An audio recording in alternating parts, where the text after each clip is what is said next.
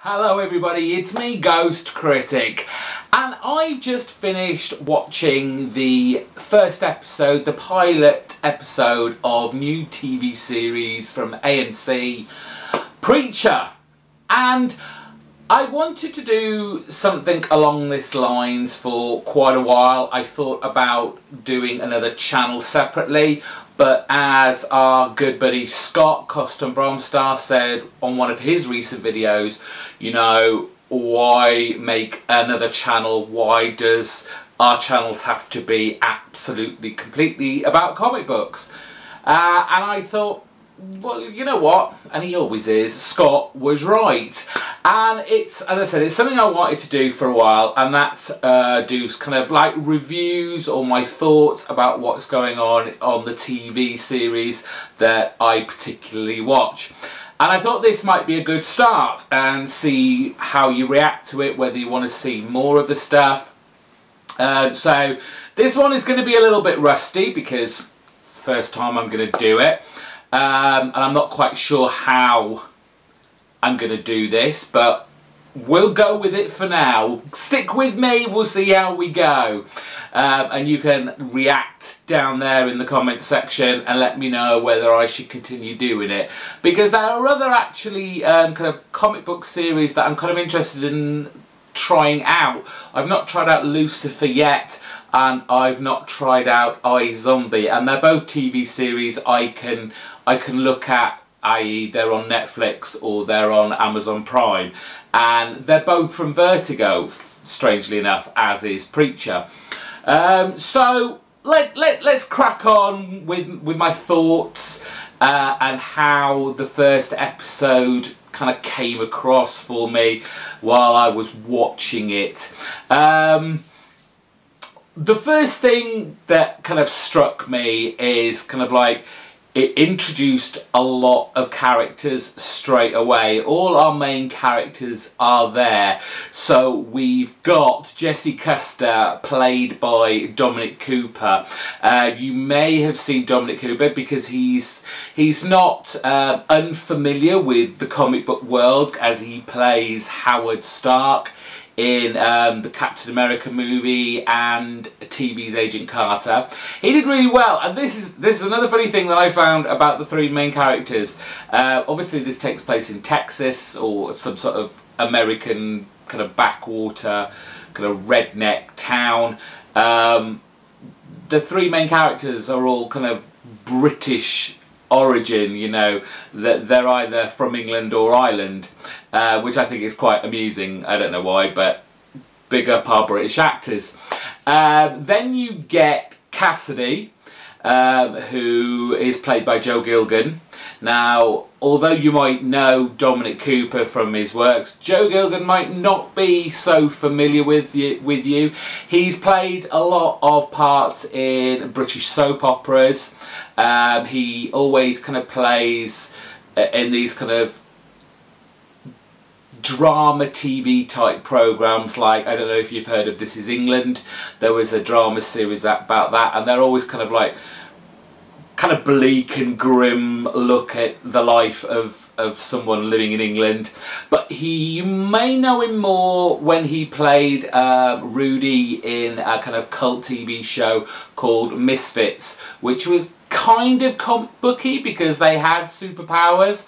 Um, but again it was kind of a British TV show so some of you might not have known it. And finally of our kind of trinity of main characters Tulip O'Hare played by Ruth uh, or Negga. Um, and she was she her face was like I know who this woman is I've seen her on something before um, again she's not kind of unfamiliar with the comic book world she was she played Raina in Marvel's Agents of S.H.I.E.L.D. but she's not um, She's not familiar with the big screen either. She was in World War Z and 12 Years a, Slave, among many other things that all these people have done. Uh, I, they were just a few things. But uh, of the main characters, I thought they were really, really well cast. Um, Dominic Cooper makes this kind of great, gritty, um, troubled preacher who's kind of following in the footsteps of his, his father, slightly unreluctantly.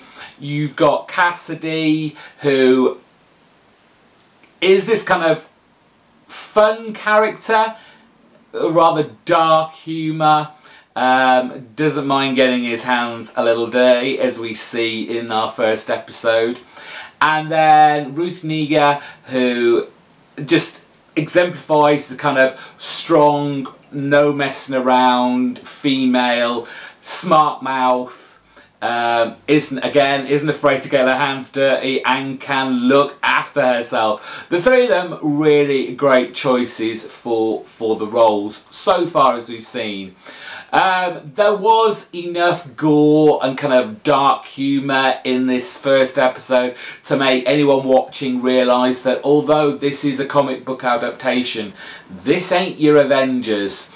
Um, you're not going to get kind of the PG stroke 12 sanitized violence, you are going to see people ripping their hearts out, literally. You are going to see bones being broken and seeing them. You're going to see punches fly, blood splatter. Uh, it was all great. There was lots of action in this first episode, which I really appreci appreciated. Um, the director, who I probably should have remembered their name or at least written it down, they kept the pace going, the storyline going, um, kind of like slow in parts to build up the story and then punctuated it with all these great choreographed action scenes. So great stuff there. Uh, obviously it was a solid introduction to the characters to go with that, but it left enough um, to make viewers who are unknown to this, this work want to come back and find out more. Um, there were some bits that I found a little bit they're, they're niggles. Um, it's been a long, long time since I've read Preacher. Um, it ended, if I remember rightly, back in 2000 and I probably, well I know I did, I read it after it had come out in singles, I read it all in trade.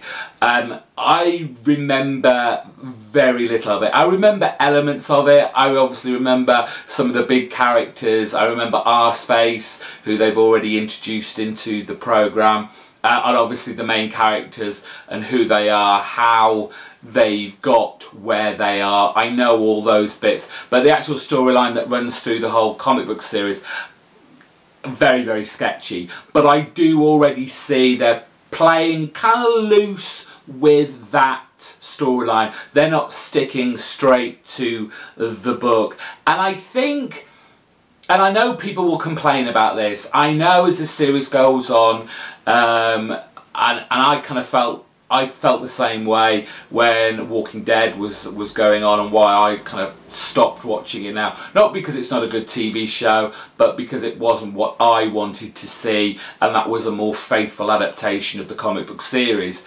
This one because of its because of its age and it is set of a certain time I don't think it would have transferred as well to the TV screen uh, and the audience it's now aimed at if it, it had done a straight kind of adaptation. Not word for word but maybe kind of more scenes.